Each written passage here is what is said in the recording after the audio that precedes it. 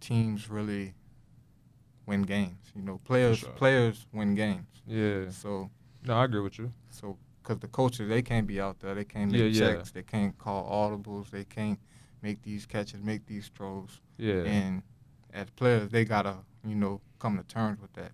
So they gotta really say like, man, this is really on us. Mm. So we gotta do the deep work and go through this process. Yeah, not to cut you off, but that uh, that ego check, man, because uh, you're not giving yourself credit, but I'm about to praise you, dog. You was cold, man. Like we're not gonna act like you wasn't just. I, I guess you cold, bro. Like you know, you did your thing out there, man. Um, yeah. How, like you say, ego check for everybody, man. Um, Was that you being as talented as you were, man? Is that something you had to uh, sort of uh, go, come, you know, deal with as well? Sort of that ego check. Of course, of course. Yeah, I had huge e- ego at first. You know, I just thought like my stuff ain't stink.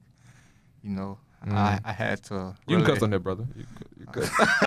you can cuss on there, man. My bad. I don't be telling the rules, bro. Ain't no rules, but we can cuss. Yeah.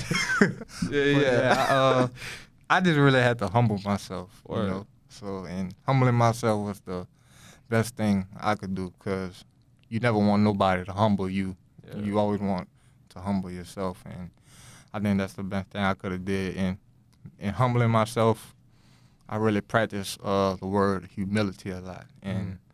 that's simply just you know thinking, putting putting others before yourself, and people might think that's a weak thing to do. It's really not. Yeah. You know.